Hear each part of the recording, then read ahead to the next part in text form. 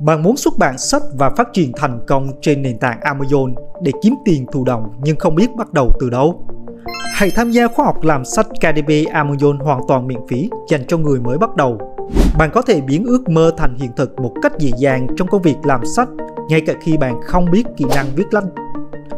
Khóa học này sẽ cung cấp cho bạn đầy đủ những kiến thức, những kỹ năng cơ bản để làm và xuất bản lên thị trường Amazon. Hãy đăng ký ngay hôm nay vì số lượng có hàng trong khóa học miễn phí này.